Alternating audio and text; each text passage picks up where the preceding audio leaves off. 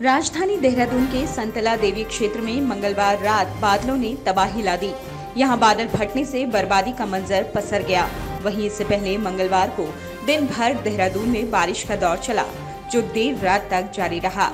बुधवार की सुबह भी देहरादून में तड़के बारिश हुई। फ़िलहाल हल्की बूंदाबांदी जारी है और बादल छाए हुए हैं। जानकारी के मुताबिक संतला देवी क्षेत्र के खाबड़वाला में मंगलवार रात बादल फटने से घरों में कई फुट मलबा और कीचड़ भर गया। हालाँकि इस दौरान जान माल के नुकसान की कोई खबर नहीं है। दूसरी ओर शहर में लगातार हो रही बारिश से रिस्पना और बिंदाल नदियाँ उफान पर आ गई हैं। इससे दोनों नदियों के किनारे सैकड़ों घरों में पानी भर गया।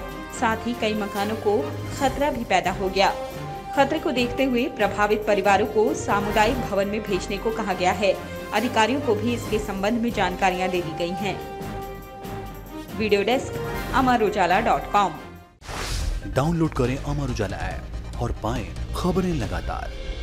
अगर आप ये वीडियो YouTube पर देख रहे हैं तो हमारे चैनल को सब्सक्राइब करें और बेल आइकन को दबाना ना भूलें। अगर आप Facebook पर यह वीडियो देख रहे हैं तो हमारे पेज को लाइक करें।